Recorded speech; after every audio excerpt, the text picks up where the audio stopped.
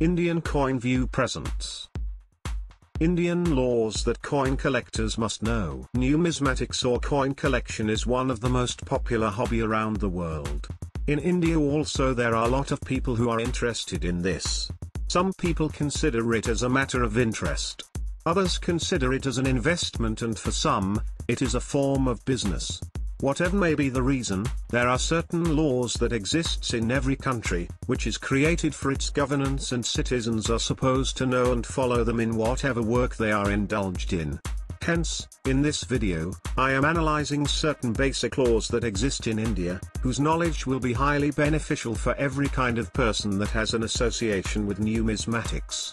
Watch full video to know the laws and find out whether every kind of action you do in association with numismatic hobby is permissible under law or not. In India, there are mainly four kinds of statutes that any person with numismatics hobby has to look upon. A. The Coinage Act of 2011. B. Criminal laws. C. The Antiquities and Art Treasures Act, 1972. D. Tax laws. The Coinage Act of 2011. The Coinage Act of 2011 is the current law in India that talks about minting of coins by government for usage in India. It talks about the establishment of mints by government, how the coins are to be designed, how its features are to be determined, coins of what value can be issued etc. The law clearly gives about offences in association with coins in section 12 of the Act. The offences include using of any metal as a currency, except by authority of government, melting coins, hoarding coins etc. Committing any offence under this law may attract a jail term that may extend it up to 7 years.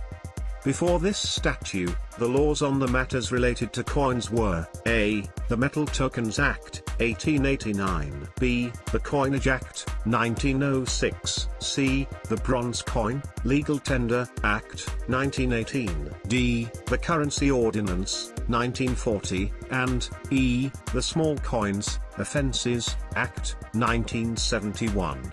Criminal Laws in India, Indian Penal Code and Criminal Procedure Code contains certain sections that talk about procedure and punishment that may be attracted with misuse of coins.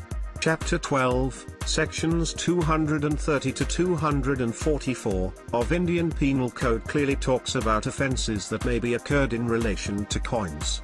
As per the law, any kind of malpractice such as creating fake coin, altering the value and nature of coin, passing and possessing the counterfeits etc. is considered to be an offense. The law talks about coins and Indian coins separately, hence bringing the coins from other countries, old coins from Indian princely state, British coins etc. under its ambit. The Criminal Procedure Code talks about the way in which these offences are handled. Criminal offense related to coins attract a punishment jail term between 3 to 10 years along with fines, depending on the nature of offense. The Antiquities and Art Treasures Act, 1972. This law is not only associated with coins but also with any kind of antiques in India.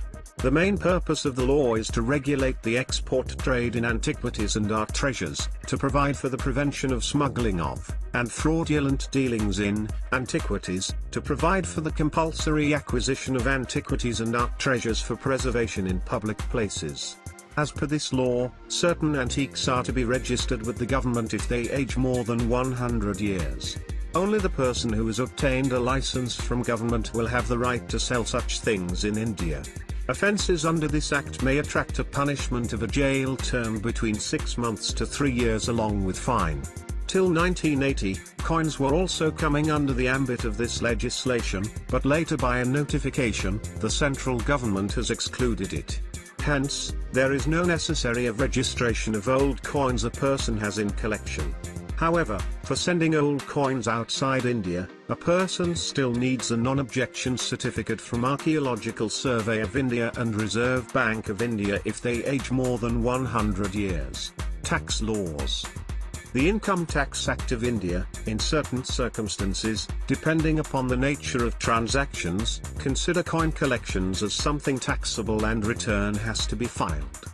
This will be depending on factors such as the way in which coin is acquired, the cost of acquisition, value of coin etc. Also as per the recent goods and service tax laws, the transaction in relation to coins for numismatics purposes are taxable at a rate of 5%.